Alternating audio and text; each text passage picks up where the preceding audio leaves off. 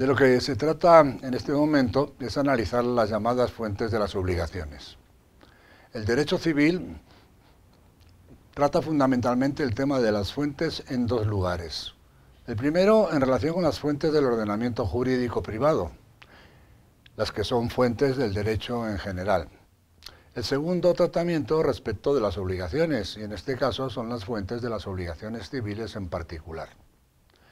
El Código Civil de Costa Rica ubica las primeras a partir del artículo primero y las segundas en el artículo 632. Hablar de fuentes del derecho en sentido amplio referirse, como señala Rogina Villegas, a los diversos procesos a través de los cuales se elaboran las normas jurídicas. O también el origen primario del derecho, en palabras de Hernández Gil. Ahora bien, en lo relativo a las obligaciones, Albaladejo afirma claramente que las fuentes de las obligaciones son los hechos jurídicos que tienen como efecto su nacimiento. Dicho esto, ¿cómo se clasifican las fuentes de las obligaciones en el Código Civil? La enumeración de las fuentes de las obligaciones se encuentra en el artículo 632 del Código Civil, como hemos dicho, el cual determina que las causas productoras de obligación son los contratos, los cuasicontratos, los delitos, los cuasidelitos y la ley. Se trata en este momento de ofrecer una panorámica general de las fuentes obligacionales, las que abarcan gran parte de nuestro derecho, de nuestro ordenamiento jurídico, procediendo ahora simplemente a situar la materia con el objeto de entender el ámbito en el que nos estamos moviendo. Expone Castantoveñas que en el derecho romano un texto de Gallo derivaba todas las obligaciones del contrato, del delito y de otras varias causas del derecho. Justiniano después señalaba cuatro orígenes de las obligaciones, que eran el contrato, el cuasicontrato, el delito y el cuasidelito. Y a partir del hecho histórico de la codificación, especialmente en el derecho francés, aparece como añadir a la ley como causa productora de obligaciones. De esta manera se formó la clasificación de las fuentes de las obligaciones, que es la que contiene el citado artículo 632 de nuestro Código Civil. Vamos a exponer eh, seguidamente cada fuente de las obligaciones, sirviéndonos precisamente de ese orden establecido en aquel artículo 632. Primero hablaremos de los contratos. Del amplísimo campo genérico de las convenciones humanas, el contrato asume un papel fundamental. La consecuencia de esta realidad es que determinados compromisos de las personas entre sí tienen un valor ante el derecho que las obliga al cumplimiento de lo que pactaron. Refiriéndose al contrato, López de Zavalía afirma que en nuestro sistema de vida todos contratamos a diario. Nadie escapa a la inmensa red contractual, pues aunque se limitara a mendigar, ya se irrumpiría en el derecho de obligaciones bajo la forma del contrato de donación. El contrato se manifiesta como el gran instrumento para la circulación de los bienes y de los servicios. Es por ello que la mayoría de las obligaciones tienen su origen en el contrato. Ahora bien, el Código Civil no define el artículo 1007 del contrato, pero con un simple examen de la estructura de la institución se pueden encontrar sus rasgos fundamentales, constituidos por una pluralidad de personas, también por la voluntad entre esas personas que se exterioriza y conjuga, y por la producción de unos efectos jurídicos, es decir, el nacimiento de una o más obligaciones que en su generalidad coinciden con aquellas a las que se refiere el artículo 629 del Código Civil, al disponer que toda obligación tiene por objeto dar, hacer o no hacer una cosa. El consentimiento es el elemento específico de los contratos. Los sujetos que intervienen quedan obligados porque consienten en obligarse. Y las convenciones hechas en los contratos forman para las partes intervinientes una norma a la cual deben someterse como si de la misma ley se tratara. Así, el artículo 1022 del Código Civil dispone que los contratos tienen fuerza de ley entre las partes contratantes. Pasaremos seguidamente a la segunda fuente de las obligaciones en el orden del Código Civil, es decir, al cuasicontrato. Y con un sencillo ejemplo intentaremos explicar qué sea el cuasicontrato. Mi vecino, a quien casi ni conozco, sale de vacaciones y en uno de esos días compruebo que una fuente en el exterior de su propiedad tiene una importante fuga de agua. Entonces, sin tener ninguna obligación y por pura iniciativa, encargo a un fontanero la reparación de la avería. El importe de los trabajos los pago y al regreso de mi vecino de su viaje le muestro la factura y pido me la liquide. ¿Tendré derecho a que me pague la reparación? Vean que no existía un compromiso previo. Pues bien, en el artículo 1043 del Código Civil se establece que los hechos lícitos y voluntarios producen también, sin necesidad de convención, derechos y obligaciones civiles en cuanto aprovechan o perjudican a terceras personas. Y de esta redacción encontramos los cuatro requisitos para la existencia del cuasi-contrato, a saber, que los actos de que se derive la obligación sean lícitos, que dichos actos sean voluntarios, que no exista previa convención entre las partes y que sean capaces de producir derechos en favor de alguien y obligaciones a otra persona. Bien, ¿y qué son delitos y cuasi delitos en el ámbito civil?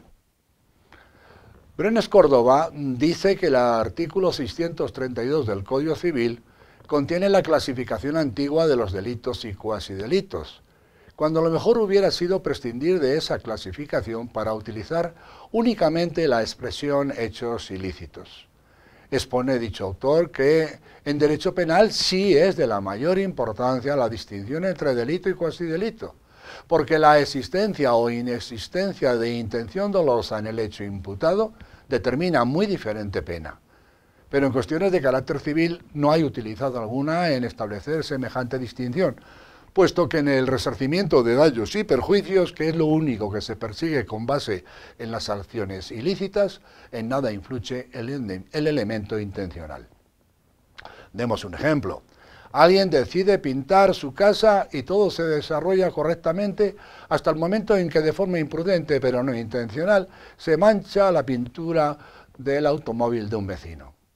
La pregunta, ¿tiene aquella persona la obligación de reparar el daño que ha causado aquel, eh, aquel bien mueble? Esta es una de las claves en materia de hechos ilícitos desde el punto de vista del derecho civil. El tratamiento de esta cuestión en Costa Rica se deberá efectuar a partir del artículo 1045, el cual dispone que todo aquel que por dolo, falta, negligencia o imprudencia causa un daño a otro, está obligado a repararlo junto con los perjuicios. El delito civil, dice Castantoveñas, es el acto dañoso realizado con intención de dañar, o por lo menos con conciencia del daño causado, pero el cuasidelito es el acto dañoso realizado por culpa o negligencia. Por tanto, todos los actos productores de un daño dan lugar a una misma consecuencia en el ámbito civil, que es la de obligar al resarcimiento del daño que se haya podido producir.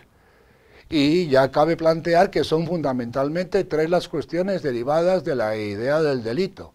Una, la distinción entre el delito civil y el delito penal. Otra, la responsabilidad extracontractual. Y por último, la responsabilidad por hecho ajeno. Vemos pues cómo distinguir eh, el delito civil y el delito penal. Según Colín y Capitán, la expresión delito civil comprende una culpa cualquiera de la persona que cause un daño a otra. En materia penal, la palabra delito sirve para designar todos los actos humanos castigados con una pena por las leyes penales. Es decir, la consecuencia del delito civil y la del delito penal, su sanción no es la misma. El derecho penal tiende a castigar al culpable, impone al delincuente una pena. El derecho civil solo tiende a asegurar la reparación del perjuicio causado. Además, la categoría de los delitos civiles es mucho más amplia que la de los delitos penales. En efecto, un acto solamente constituye una infracción penal si está previsto y penado por la ley penal. Por el contrario, cualquier hecho de las personas que cause perjuicio a otra u otras es un delito civil y da derecho a la víctima para obtener una reparación pecuniaria. Por eso es que además de las previsiones del Código Civil, nuestra legislación contiene una regulación específica de la llamada acción civil resarcitoria en los artículos 103 y siguientes del Código Penal, en lo referido a las consecuencias civiles del hecho punible. ¿Qué es la responsabilidad extracontractual? Estaremos en presencia de la llamada responsabilidad extracontractual cuando una persona causa bien por sí misma, ya a través de otra de la cual responde, o incluso por obra de un objeto de su propiedad, un daño personal o a sus bienes, a un sujeto respecto del cual no estaba obligado por vínculo obligatorio alguno anterior. Este principio de responsabilidad extracontractual se configura en el artículo 1045 del Código Civil, el cual determina que todo aquel que por falta, dolo, negligencia, imprudencia, causa un daño a otro, está obligado a repararlo junto con los perjuicios. Ya lo dijimos anteriormente, no importa insistir. En resumen, con la distinción que nos presenta el Código Civil, se puede deducir que la diferencia entre delito y cuasi delito es simplemente de matiz. El delito supone en el ánimo de la gente la concurrencia de dolo en su conducta delictuosa, es decir, la intención de dañar. Pero esa intención no existe en situaciones de falta, negligencia o imprudencia, pero sí puede haber una culpa cuasi delictual y de ahí se deriva el delito. A ello obedece en gran parte el abandono por parte de los textos legales de otros países de la tradicional distinción romanística entre delito y cuasi delito para utilizarse la general de actos ilícitos o hechos ilícitos como causas productoras de obligaciones civiles. En cuanto a la responsabilidad por hecho ajeno, se impone la misma cuando, según indica de Diego, entre el autor material del hecho y el que queda responsable hay un vínculo tal que la ley puede presumir fundadamente que si hubo daño, este debe atribuirse tanto al autor material como al descuido o defecto de vigilancia de otra persona.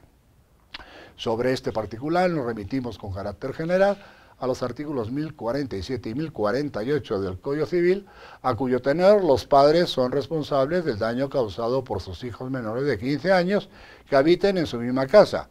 En defecto de los padres son responsables los tutores o encargados del menor y los jefes de colegios o escuelas son responsables de los daños causados por sus discípulos menores de 15 años mientras estén bajo su cuidado. La responsabilidad consiguiente y la obligación que surge mediante estos artículos parte de la consecuencia del incumplimiento de obligaciones de cooperación social como son las de vigilar a las personas y a las cosas que están bajo dependencia de ciertas personas. También el artículo 1048 en lo que se refiere a los actos dañosos ocasionados por los empleados al servicio de alguien, además de exigir la oportuna cautela en su elección, se requiere que el empleador lleve a cabo la posterior vigilancia en el desempeño de sus labores. Por ahora terminamos. En siguientes momentos procederemos a desarrollar los elementos esenciales y accidentales de la obligación.